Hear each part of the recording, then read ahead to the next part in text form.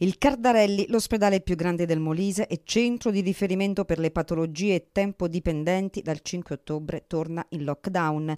In contrada Tappino saranno assicurati soltanto gli interventi urgenti con buona pace dei livelli essenziali di assistenza ed è spaventoso pensare alla lunghezza delle liste di attesa che questo provocherà. Ci sono responsabilità politiche regionali e responsabilità di ruolo e funzione nell'ambito dell'ASL quindi, a mio avviso, non è che perché c'è una comunicazione i pazienti scompaiono. Se il paziente non può ricevere delle prestazioni dalla struttura pubblica con denaro pubblico, per le altre strade, e le strade le sappiamo quali sono, cittadini, pazienti, cittadini, trattini, pazienti di questa regione, non sono dei sudditi, sono dei cittadini italiani che hanno dei diritti.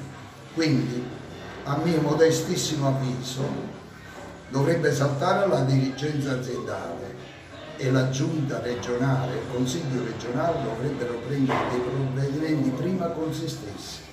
Queste le parole del dottore Giovanni Pulella in qualità di segretario regionale Cosmed Molise che in una conferenza stampa ha denunciato dunque le gravi ripercussioni che il lockdown che ci sarà all'ospedale Cardarelli di Campobasso provocherà. Servirebbe un miracolo senza anestesisti da lunedì. Cardarelli chiuso.